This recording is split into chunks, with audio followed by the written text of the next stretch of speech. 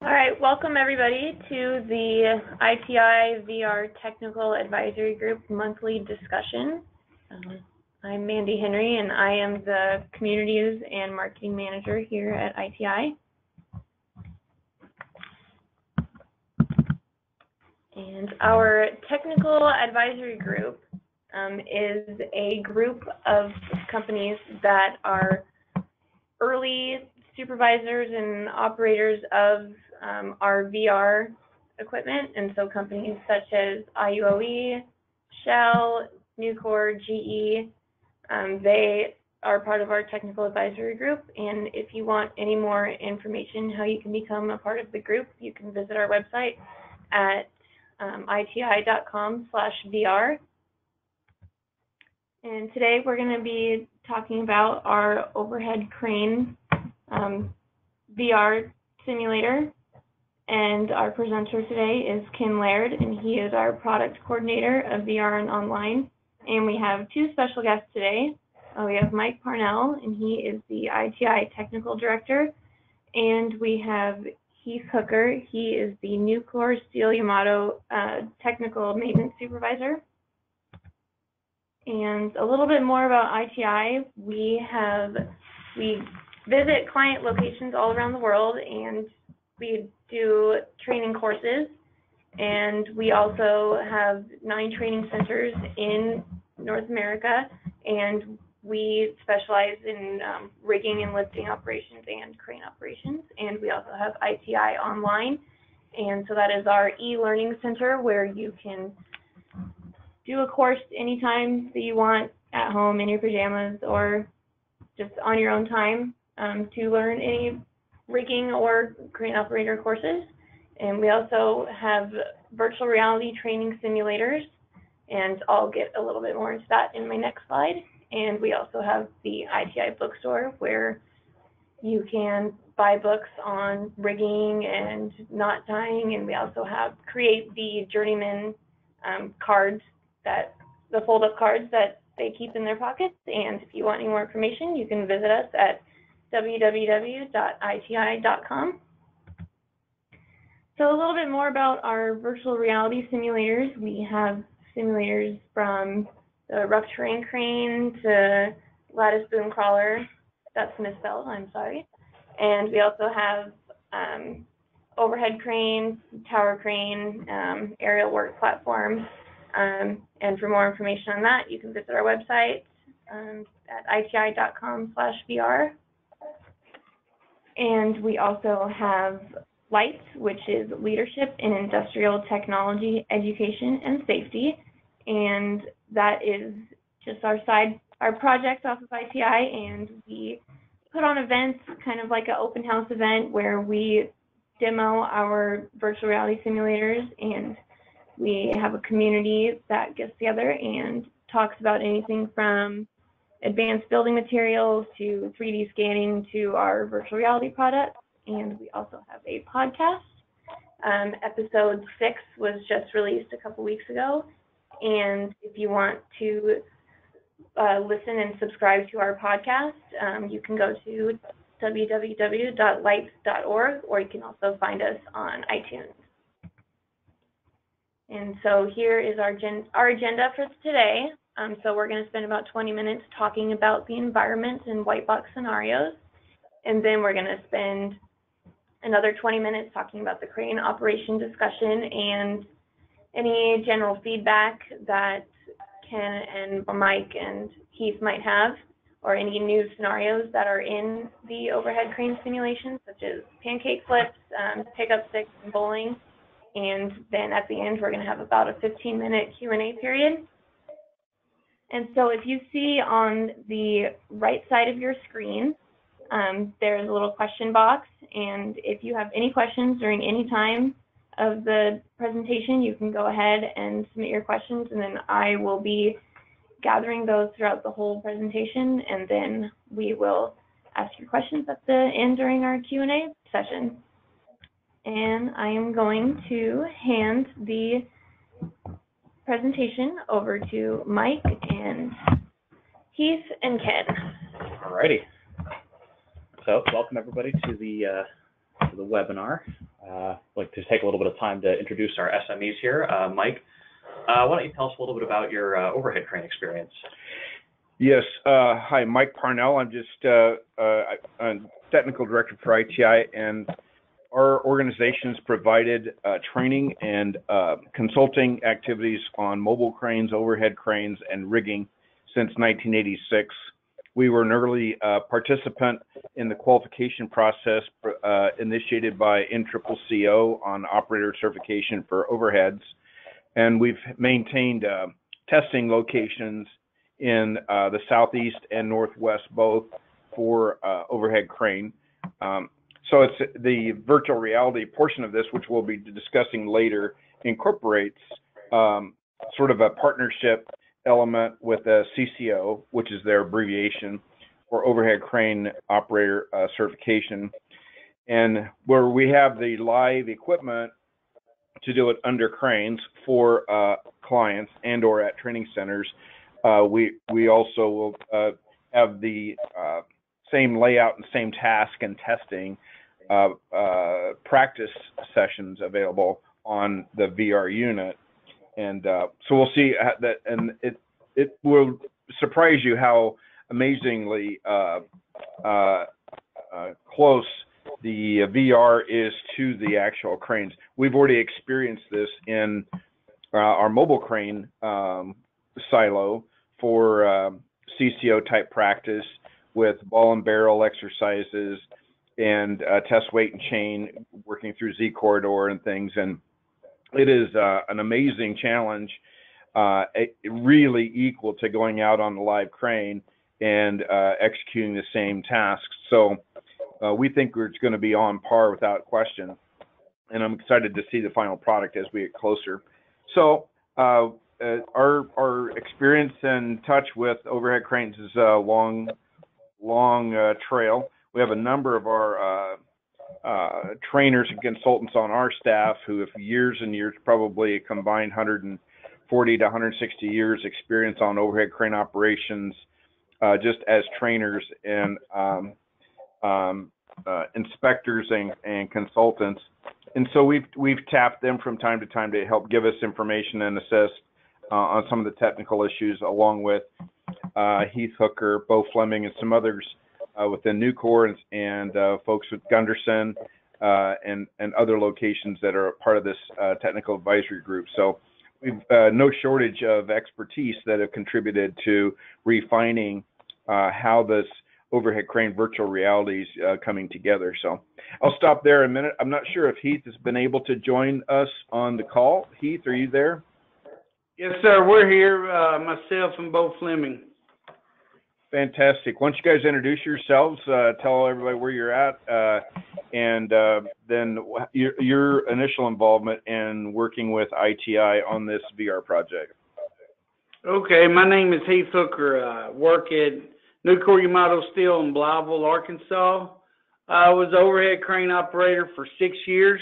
Uh, been in crane maintenance for the last 12 as lead uh, of the overhead crane team and uh, we got with ITI with some rigging training and started uh, a new training program at our facility and was interested in crane simulators, virtual reality, and partnered with ITI on helping develop this. Uh, it's been an ongoing deal. Can't wait to see it. Uh, we have the mobile crane simulator already at our facility, and as Mike said earlier, it mimics sitting in the real seat. And I expect and have no doubt that the overhead crane will be the same way. I'm gonna let Bo Fleming introduce himself. Yeah, much like Heath, my, my name is Bo Fleming. Much like Heath, I'm at uh, Nucor Yamato Steel, Blytheville, Arkansas. I've been there for 23 years. Uh, I've been running cranes at the facility for those most of those 23, probably 20 years. Um, I've ran all types of all types of arc overhead cranes, different tonnage and everything.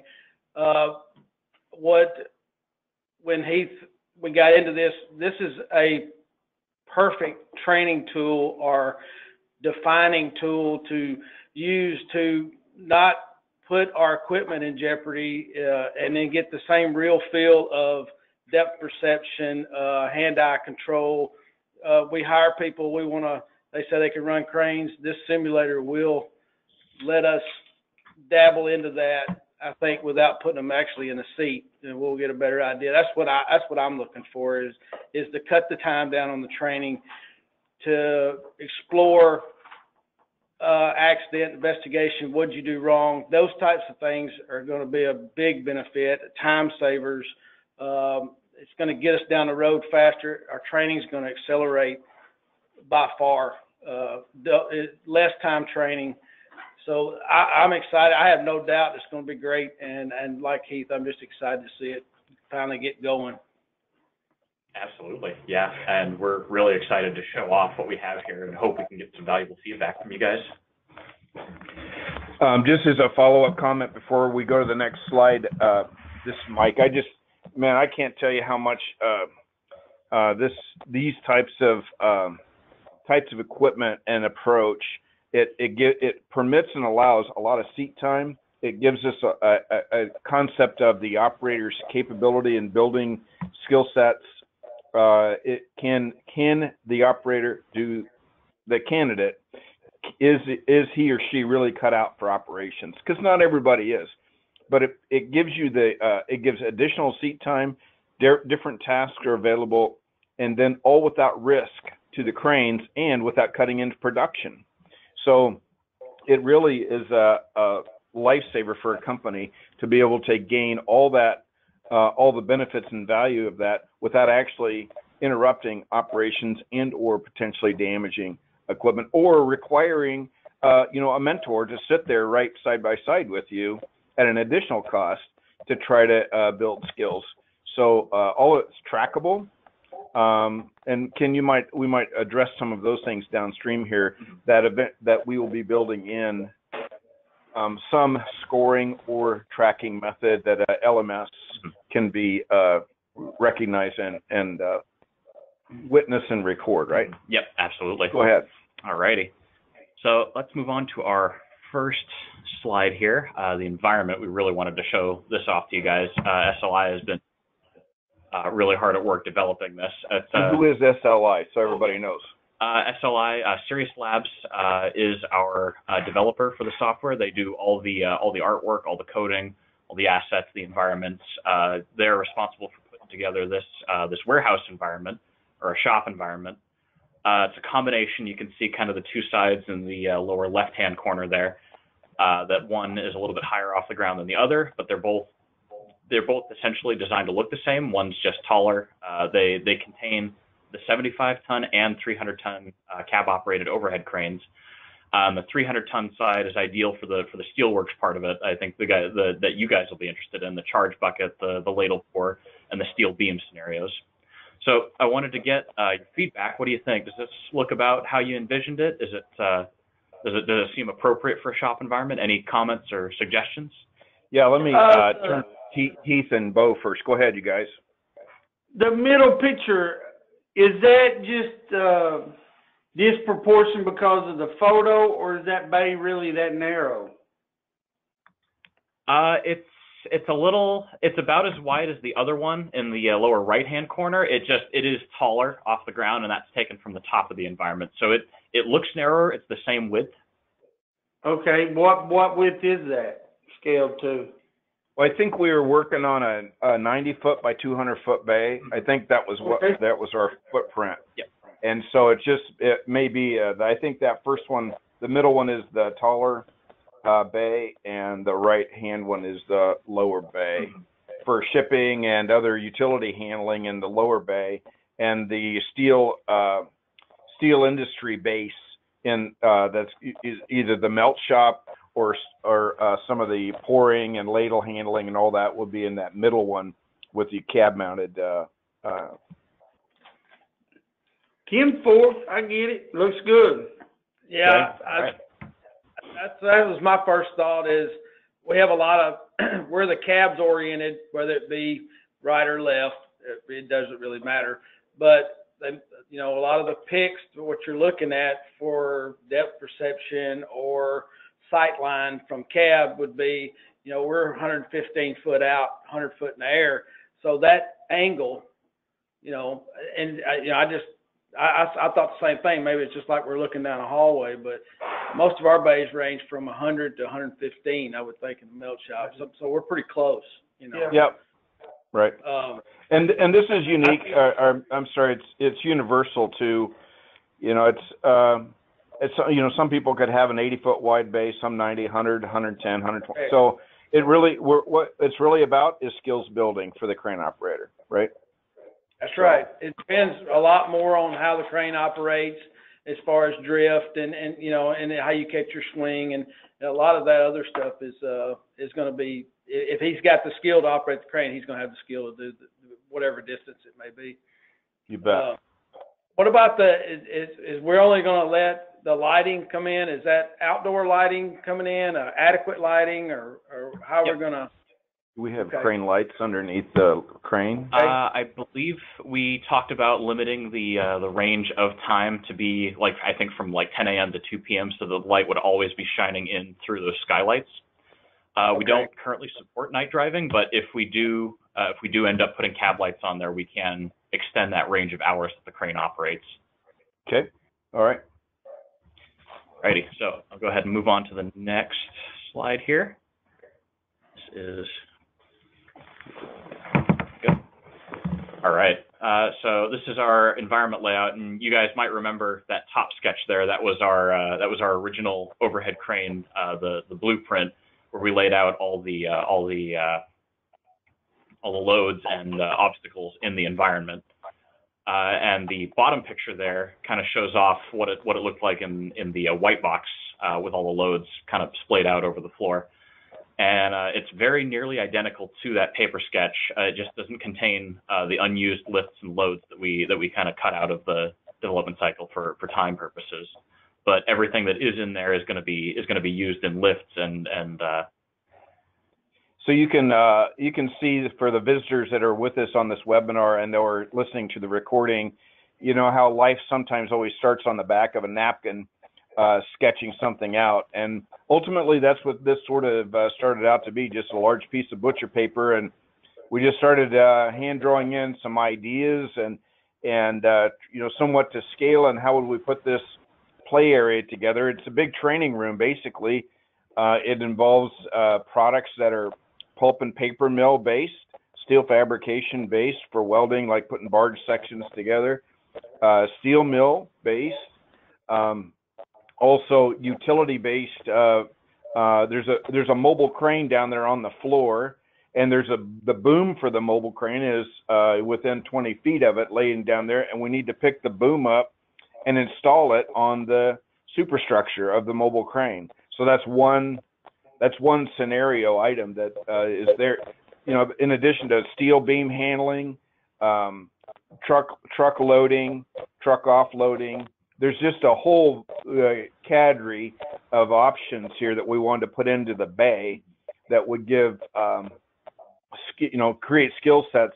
And you might talk about uh, when the assets are viewed or visible or not visible. At what what what opportunities Exactly. those give, Ken? So the idea is that, uh, like in the 75 ton or yeah, 75 ton environment, uh, it's a it's a warehouse environment. You're supposed to have all this, you know, kind of laid out over the floor. You're just moving products back and forth. But if you get into the the steel crane, obviously you don't want the uh, you don't want the Tadano sitting there in the middle of the the steel shop environment. So those loads can be uh, labeled as inactive, and then they just won't show up in the uh, in the sim. Or you could turn everything off and put the uh, NCCCO corridor in there because obviously you'd want a clean environment.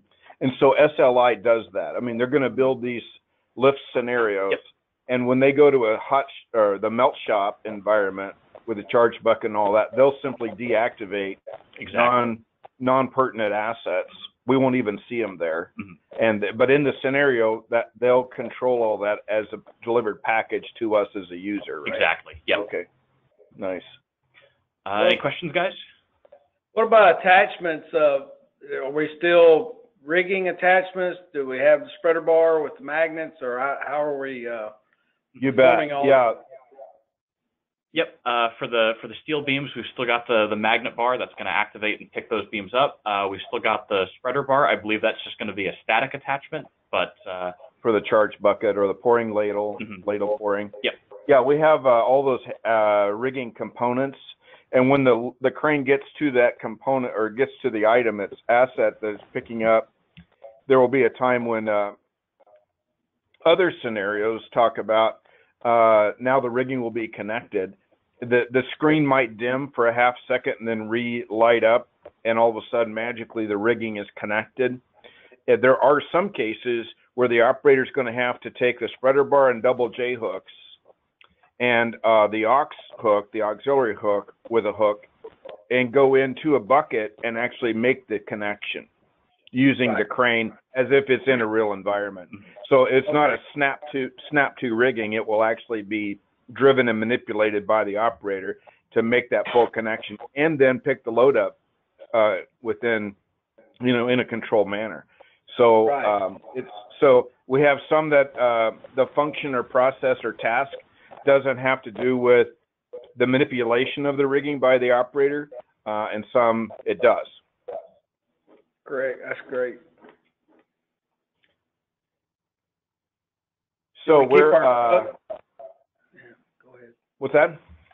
I was just wondering, did we keep our truck in there where we, where we decided we was gonna load a truck or something like that with I-beam? Yeah, we- Yes, we have a, a, a truck going in effect north and south, a trailer, and also a trailer east and west. And the product is laying as it is, like the steel beams are laying there on the floor in bundles. And, um, but I think we'll cover that on a future slide, but the, uh, we do have the ability on the seventy-five ton crane to have a rotating trolley. So we can pick the bundle up in one orientation, hoist, bring out to a clear area, rotate the bundle 90 degrees, and then land it onto a trailer in the appropriate orientation. That was what I was shooting for. We'll we'll talk about that on the on the uh, the the uh, the scenarios uh, section. Okay? Go ahead and uh, move on. To Yeah, let's go ahead. Yep. All right. Uh, so here we talk about uh, the crane body, and this is right now this is hanging in our uh, Tadano environment. So this is kind of like a pre-alpha sketch. We've been able to test it back and forth. Uh, we've sent a little bit of feedback back, and we're hoping to get a dev build sometime this week from SLI.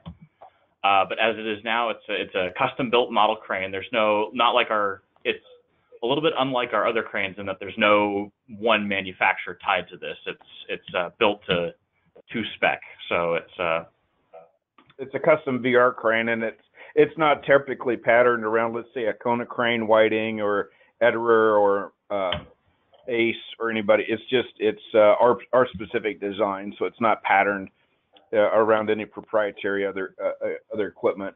Notice the end trucks are up there on the rail system. Um, Ken brought this to my attention. I hadn't noticed this, but the SLI people, uh, Serious Labs Inc. Um, they've got the ability to do lots of things in texturing, but notice the difference between the top crane view and the other one below it. It's got the, the typical dirt and grime that you're going to find in a paper mill, steel mill, uh, uh, all kinds of, you know, just shading and texturing to try to make it as realistic as possible, right? I thought that was a really nice ad. It's it's a small all- detail, but yeah, it's an important one. It really adds to that sense of realism. Like it's not just a, a blocky crane that sits in an environment. It's a it's a crane that's been here for you know 20, 30 years, uh, and it's it's adaptable based on uh, certain you know factors that change uh, between the 75 ton and 300 ton crane types, or you know another tonnage that we might select in the future.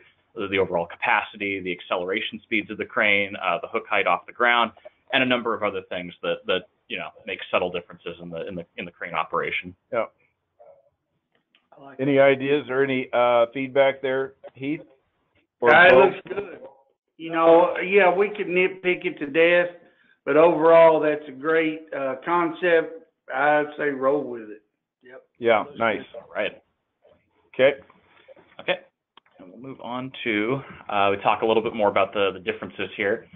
Uh, they use the same overall layout on the body, but there are some changes you can see in that picture there. The 75 ton is a little bit narrower between the two. It doesn't have that, that width on the on the truck. Uh, it's uh, it's got different numbering on the side to, to help you differentiate between the 75 and the 300. Uh, and as far as feel goes, uh, the 70 or sorry, the 75 ton is a little bit lighter crane, so it does get pulled around by the load some Uh, the 300 ton, it's heavier, it pulls those loads harder, and it gets pulled less when as it swings. So, and of course, the 300 ton uh, is the only crane that can handle the the charge bucket, the ladle pour, because it's, it's it's built for that. So, it's also the crane that has reverse plugging because the 75 ton crane has the variable frequency drive. There's no there's no option to reverse plug on the 75 ton. It's it just you know decelerates and then starts moving the other direction. The 300 ton will have reverse plugging, and that's that's an important feature for the charge bucket scenario because you have to use that to slow it down. And we've got that as a training element, you know, for skills skills building for the operators, uh, getting all that timing down and the amount of, you know, rheostat, you might say, uh, movement with the uh, control mechanisms to to get used to making the crane predictable and doing it what you doing with it what you want and not being surprised by it, right? So that's we're really trying to build skills and get a feel for uh, uh, proper operation. Okay, can I, can I inject something here? Sure. Yeah. Uh, being that the, uh, principle of reverse plug is developed, being that the principle of the drive using accel-decel is developed, is there any way if, if the three hundred ton crane will never be operated by the remote simulator, the belly box? The seventy-five we've- ton, what? Yep, we've agreed that 300 ton cannot be operated by belly box, but 75 ton can. Okay, now that leads me up to my next question. In the software, is there any way that anytime either one of these cranes are being ran by the desktop version or the motion-based chair, which is simulating a cab, that it be static stepless regardless of what crane? And when it's ran by remote, it is automatically set up for XLD cell because that is the way every one of our cranes are. If it's cab operated, it is reverse plug. If it's remote, it's accel-decel. Uh, So yeah, what, I can. what I I'm can asking is, if we go into the remote belly box simulator mhm. and pick the 70, which 75 tons, the only one that's an option there, then it's XLD cell. But if it is a simulator being operated through the motion-based chair or the desktop version, that it be static step, uh, that it be reverse plug. I think we can do that. Yeah, I will. I will get back to our developers on that. Uh, we can certainly. I mean, we can just say uh, from from the cab operated 75 ton, we add reverse plugging. Uh, from the from the uh, ground operated 75 ton, we just have strict acceleration deceleration. Yeah, You I hit the can. I nail can on the head right there. I mean, I spent three minutes saying what you did in 10 seconds. Sure did. okay. Yeah, but no, that's that's very important feedback. We'll pass that back to our developers, and I think because we have we've said reverse plugging in the cab on the 300 ton, it probably shouldn't be too much trouble to get it in 75 ton as well. It'll just take a little tweaking uh, to get the feel of the crane right. But yeah, absolutely. Good comment. He's writing it all down. I see him writing as we're talking here, so he's going to make sure Okay. to check with the Because that, developer. that'd be very important, especially when our shipping guys, our uh, roll mill guys, you know, because they're cab operator, and all of a sudden they go to Excel, you're throwing an operator that's used to reverse plug. I mean, he- he's, he's gonna get up and say, this doesn't help me. Yeah. All right. Yeah, we will pass that back to SLI. Thank you very much. Okay. All right. All right, I will move on to our first new scenario type, uh, the pancake flip. Uh, the idea is that there's a flat plate on the ground, uh, rigged up on one side, and it's got cribbing under it on the other side. Well, it's got cribbing under it all the way, but it's supposed to hinge on that cribbing on the other side. Uh, the idea is that you hoist and bridge and trolley as necessary to keep that line as vertical as possible as you're lifting it to flip it over. And uh, we do have uh, hinged and unhinged versions where the hinged versions are actually attached to the ground. And if you pull too hard up on that, it'll pop it off the hinges and you'll fail the scenario. So this is one of, you know, let's say 25 or 30 scenarios besides anything that might be included with the sort of CCO testing layout. But uh, we thought uh, this was important just to bring up as just a typical scenario that this has three or four iterations. One, I think if I recall, one is where the this this is sort of like a steel barge section that's got to be flipped over to be welded on the backside. So the idea here is, I think in one orientation, that the unit has to be flipped in line with the bridge. Another orientation, the unit has to be flipped in line with the trolley. And then another orientation where it sits 45 degrees to both. Now you now we've got a bridge and trolley simultaneous to hoisting and or lowering. So it really calls on skills for the operator to have to uh, maintain a plumb line, you know, plumb for his hoist lines, but he's got to continually then work on his bridge and trolley, which may, you know, are really kind of two different speeds, and he's really got to work on touch or sheet. So um, this little, this you can get a lot of mileage out of this to just gain touch and load control uh, in one for manipulating one or two little loads like this uh, can take it could an operator might spend uh, 30 you know a candidate might spend 30 minutes or an hour on just on this two or three step scenario to get uh, a little better feel for the crane Absolutely. And Yeah, we've, we, uh, uh, we've, Go ahead. We, we really, we really, I, I could see where this is really gonna benefit, especially in the shipping where we are actually, I don't wanna say flipping, I'll say rolling yeah up. turning load up, of- and load down We're rolling up, we, we stand, we put a bundle webs on them, and it's hard to teach a guy who's never done it with magnets. I'm not talking about Right. with rigging or chaining. You gotta have such good crane control with the magnets and mag control. So, yep I mean, you've got to be able to bridge and, and not bridge too far because we don't want to roll the thing over. But you've got to know when that tipping point occurs, and I got to know when to, you know, plug my crane back from my bridge, even if I'm not using my trolley. Now in the old bay, you would use your trolley to do the same thing. So it's a, it's a, it, it it's going to help you in all those areas. I think it's going to be awesome. I mean, I could, I could try to teach you in a crane, but I'd much rather teach you how to do it right there. Sure, yeah, this simulator is the perfect uh, campsite for that uh, education, right? And uh, and if you get too far out of plumb, uh, the the simulator or the developers have created this uh, rope failure uh, issue. You might explain that. yeah, it's a, it's a hard failure. Essentially, the rope will get, you know, it'll, it'll detach from the crane at the top where the, where the, where the hoist drum is because it cuts on that, on that, uh, that, uh, casing, you know, because it falls, if it falls too far out of plumb. So there are penalties and there are surprises in this. Uh, they they also in other as in other scenarios they could have a sling failure event occur. They could have uh, out of plumb rope get cut up on the crane. Uh, they can have other you know issues that can occur in real life. So those are embedded uh, throughout this whole VR uh, experience. Yeah, absolutely. All right, so we'll move on to our next scenario, the new scenario type, pickup sticks, and I think you guys were touching on this a little bit, where we have you know multiple steel beams or steel beam bundles where they need to be picked up by that magnet bar and moved onto trucks. And the idea is that you learn how to do that safely and then also efficiently, where you can get groups of bundles together and pick them up all at once and then move them to the truck, and that that uh, triggers a bonus objective where you optimize the loading. So, so you're telling me I can, I can pick up single sticks and make a bundle? Uh, I don't I think we have a minimum bundle size right now. Uh, we just had the developers put the single beams up, but I think we have minimum bundles of threes or fives, maybe, at this point. And so they come up as a unit. However, you know, if the operator doesn't get to the north-south orientation properly, we can have the thing out of, out of level or, uh, sideways, east and west, out of plumb.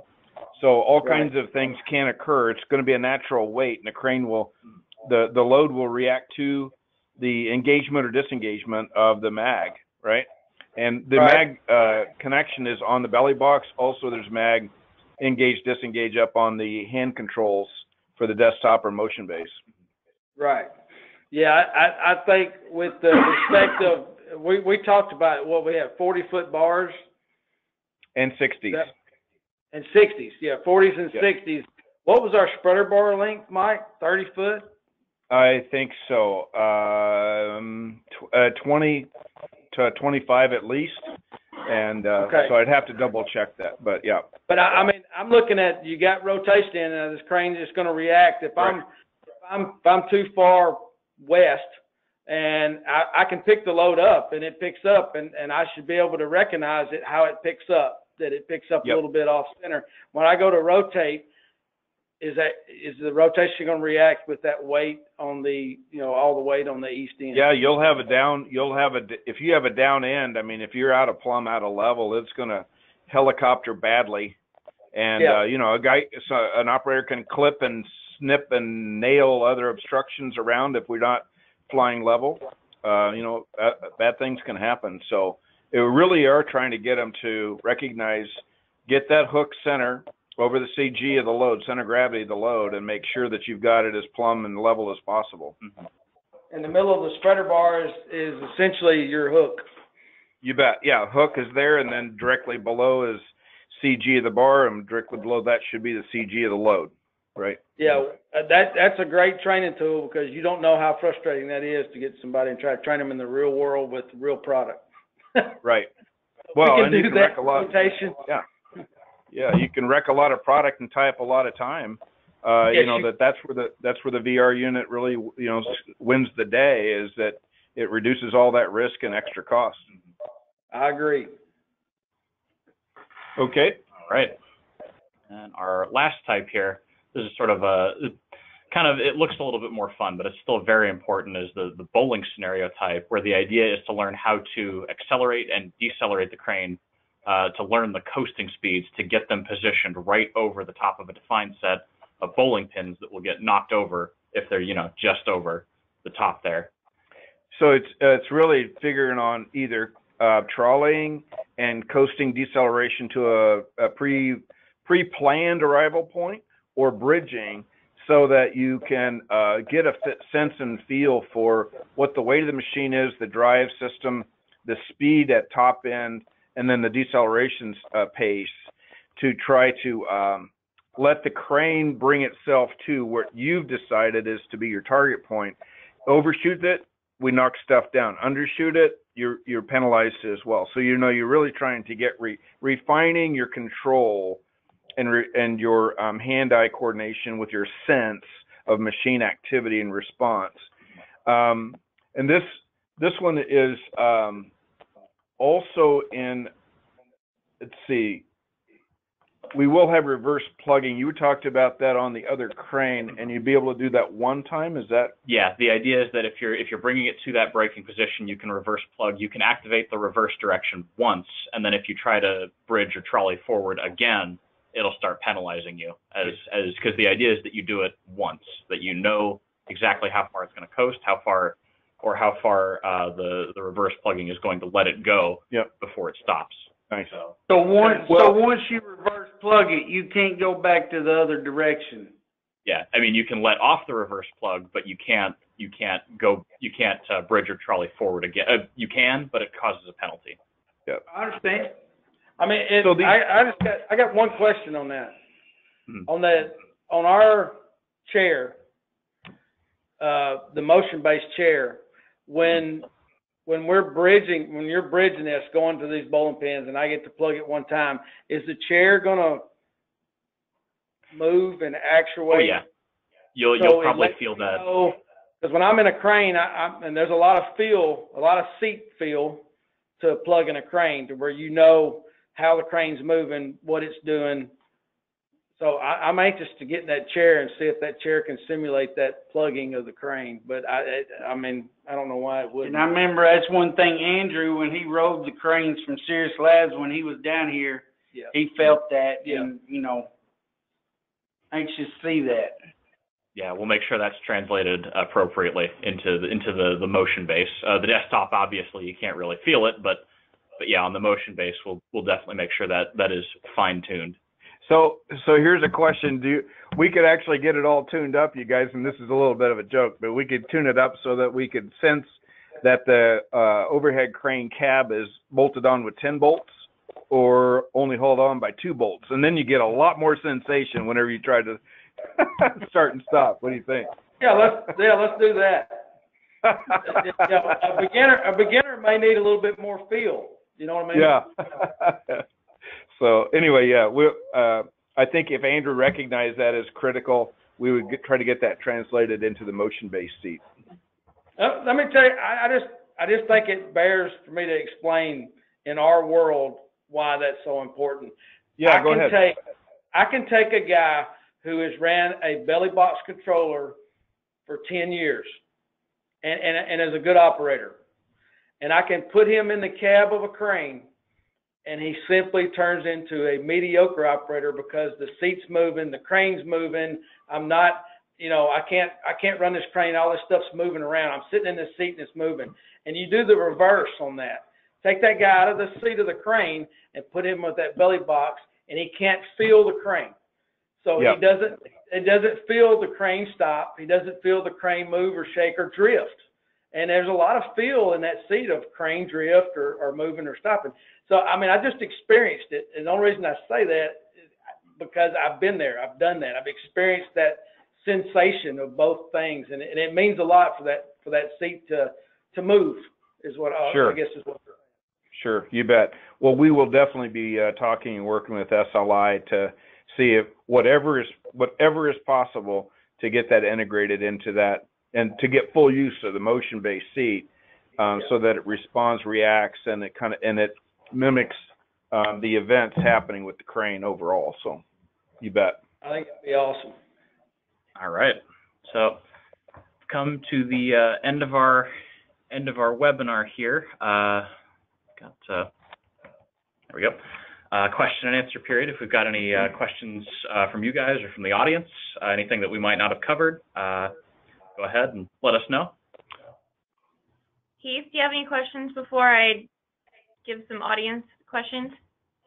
Uh, no, actually, I can wait until, I mean, the question I have is, when, when, when are we gonna be able to try this out? And would it help, uh, if we made a trip to Serious, you know, cause we're real anxious to get this in our hands and try it out so we can make, give some feedback on what Bo was talking about in the seat, how the crane reacts to the controls, you know, that's, that's the question I got. Well, we've got a dev build coming out uh, this Thursday or Friday. I'm going to look it over, and we're going to determine whether or not we can send it uh, to you guys. The last one, it it was a little bit too messy to to send out. We didn't we didn't feel it would meet with approval, so we're gonna we're gonna gauge this one, and I'm I'm hoping this will the the crane will be in the environment for this build, and we can actually show you guys firsthand what this what this looks like. So. Okay, and to be honest, our, uh, training room that our simulator is in, along with all of our training hydraulics and electrical, actually the power's cut off that building, so we have a week or so. I mean, I'm not wanting it tomorrow because we have no power to our training room because we're extending it to include a classroom. And so, you know, I'm not meaning tomorrow, I just kind of wondered. Sure. Well, we'll once we know on Thursday after this uh, team meeting with SLI, then we'll chat with them also and see. Now, you guys have a desktop, not a motion base, right? We got Uh, both. we got both. Okay, so uh, actually, they could send. You know, once it's kind of gets all cooked up, they they will be sending it to your computer uh, that drives your VR system, and uh, then you'll be able to experience the beta testing right there on your location. Okay, right, and, you know, I could do desktop in my office, it's just that the motion-based chair doesn't have any power right now, but it won't be long. Sure, no problem. Okay, we'll we'll get you keep you posted after the Thursday meeting. Ken will be sending out a an update then. Absolutely. Go ahead with your questions uh, here if we've got some, Amanda. Yeah, I've got a question from the audience. Um, what feedback have you received about how the simulator is compared to a live overhead crane? Uh, so we, Mike and I, we did a little, we did a little testing of the crane. Uh, we found that it was at first uh, just a little bit, uh, the the coasting it decelerated and accelerated a little bit too too quickly. Would you say? I'd say it, wa- it felt sluggish. sluggish. You might say is that when you when we were bridge I was bridging and or trawling and uh I would uh let off and it would do a normal deceleration. Um I wasn't getting much pendulum effect with the block. It was it was uh retarding or slowing down the pendulum action too quickly and settling too quickly. I said, you know, it really needs with a nice fall that it has, you know, a 40 foot fall on the block that uh it actually should sit there and wiggle and waggle back, you know, for a minute or two. exactly. If I have some, if I've been bridging all the way down the runway, then I let off. Mhm. There ought to be a reaction that takes a minute or two. Unless I counteract it, it should actually have this going on. So it was dampening a little too quickly, which is simply an electronic fix Right. that they make. Uh, I, I was on the beta testing team for the Tadano uh, 100 ton hydraulic boom crane and uh, moving through the uh, test corridor and uh, with the swing, boom, down, and hoist, uh, I would bring bring uh, test weight and chain in and, and come off the controls, and it was dampening too quickly. I'm, we made a phone call and an update within 30 minutes. This team, it was like the brakes came off. Yeah. Is and I was like, oh my gosh, I was just, I was, then it was, you know, more like a real crane. I mean, it's just tweaking that these guys can do is incredible to get the crane to respond, you know, in a more uh, realistic manner. They're not crane people. That's the whole thing. SLI, they're not crane people. You've got to teach them and show them everything you need to do, and that's why it's imperative we get uh, good good operators like Bo and Heath to uh, help us as well to do the testing, to give us feedback on, you know, what is it, uh, what's lacking or what needs to be upgraded and updated. So the realism, it's all gettable. We just have to tell the the geeks what we need, right? I mean, that's what that's what this gets down to. So the the machine's a- absolutely able to do it. Mhm. We just have to um, give them the right information to get the re- you know the response out of the crane. Yep. And like I said, Mike and I, we gave that feedback to SLI. Uh, it's, it's been put into the new dev version of the overhead crane, and we're, we're hopefully going to be testing it out uh, this Friday or Monday and making sure that it, that it looks and feels good enough to send off to you guys for, for further feedback. So, Okay. All right, I've got one more audience question. Um, how will the simulator help prepare people for CCO exams? oh, so we have a, uh, in our, in our other, over, or in our other mobile cranes, we have uh, NCCCO uh, courses with NCCO's blessing, of course. Uh, we actually set out the Z corridor and the barrels and the uh, and the you know the, the stop circles, the start circles. We we made these courses to be very similar, if not exactly like uh, the NCCCO practical exam, such that people could get on and practice and get a feel for you know the, the a rough terrain crane or a boom truck or a carry deck, and uh, and go through and get that confidence that they need for the NCCO course. Now in overhead, it's actually a little bit different. They don't have the barrels, but they do have a trolley laid down. And uh, I was talking with Andrew, and he's just constructed this 13 to 15 foot long chain that has those master links that you lay down on the targets. And uh, it's it's our most complex object in the sim yet, he tells me, and it's uh, uh, it's going to be probably the most vital task that we have in that sim to get constructed because everything else we have the corridor, we have the we have something that we can use for the horizontal obstacles uh, in the in the Z corridor. Uh, but yeah, we do we do with NCCCO's blessing, we have those laid out in the VR uh, environment. So So we're we're looking for uh, the CCO folks as well to help give us beta testing feedback, and that will be happening over time. Uh, to uh, to get the sensation of what what Andrew relayed to Ken, he said that there are 70 moving parts or something in this piece of chain, mhm. and he said it's uh, very intense to get it to act naturally and to collapse, fold, roll, turn, uh, lay down, pick up. It's um, uh, but we're but we're trying to get it to to mimic exactly what chain would do, and that's so so that you you either pass the test or you don't, you know, on that exercise right. with with some practice, uh, and you want you want the devices that you're playing with to be just like the real thing. You don't know you're not sitting in a real crane. That's what we want at the end of the day. Right. Hey, Mike, can I, Mike? Yes, sir. On the, on the, uh, that, get back to that CCO deal. Uh, what is the, uh, same scorecard they use? Like, uh, when I go to put my hook over the test weight, uh, I can only, once I'm ready, I can only hoist down. I can't trolley or bridge or, I mean, is it gonna know if I touch? It's gonna it's gonna have all the same like penalties. Like you can go and see the the CCO video, and they'll say the points Right. will be deducted for the following. We're gonna have all Right. the same penalties. Uh, as per NCCCO's request, we're not gonna use the same point values because they definitely Right. don't want their their scoring information to to get out. But you'll still be you'll still be like graded on the task. It just won't be exactly the same, but it still uses all the same penalties that would accrue in the in the in the actual CCO exam. Right. When you go on to the what- Indo- in, nccco.org website, anybody that's listening to this recording, uh, and you, you click on the overhead crane certification and you actually click on then viewing, uh, samples of the practical exam, basically all that's been replicated and is being replicated right into this unit. Exactly. So, um, the, uh, you know, the, the, so when you pop open, uh, uh, one of those tasks, you're gonna see exactly, uh, you know, what the, what the challenge is and, and the performance of that. And we, we provide deductions and or information on the side to let you know how you're doing for time and, uh, any infractions or anything that you have against you. I hope that helps.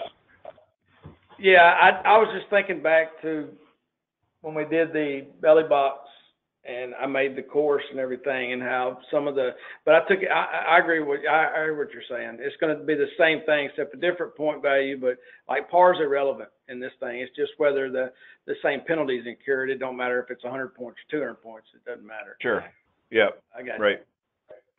Well, hey, it's been fantastic to spend time with you guys, and thank you, uh, Ken and Mandy, for inviting me and uh, Heath and Bo to participate in this.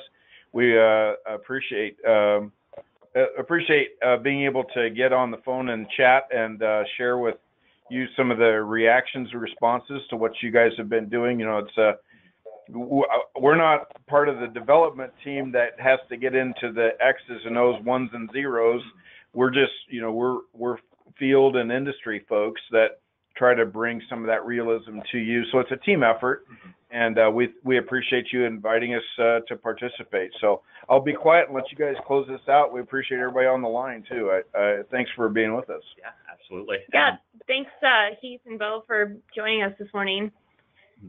Yeah, this is great Thank feedback. y'all. Y'all, y'all- y'all done more work than we have on this, so we appreciate y'all.